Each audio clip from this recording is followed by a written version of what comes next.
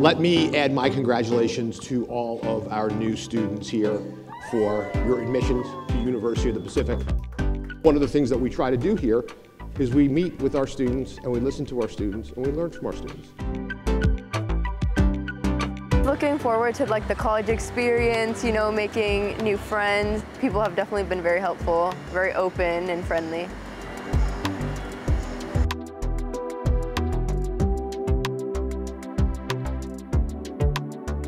Most distinctive thing about what we do here at Pacific. It is a highly personalized, relationship-based educational experience. I'm just absolutely thrilled that you are all here.